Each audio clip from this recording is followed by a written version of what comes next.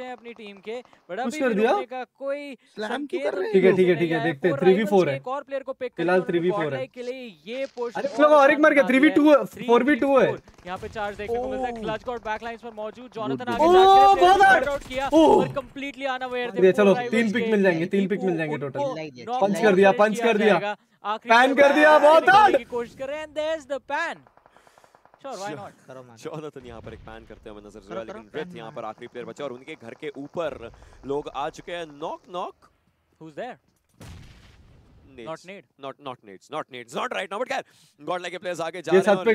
जो है वो आखिरी प्लेयर बचे हुए बाहर ऐसे में मैं तो बोलूंगा को इकट्ठे ही मूव करना चाहिए। बट वेल उनकी लोकेशन पता चल चुकी है और उनसे फाइट लेने की यहाँ पर कोशिश काफी ज्यादा अच्छे तरीके से उनको फिनिश किया जाएगा।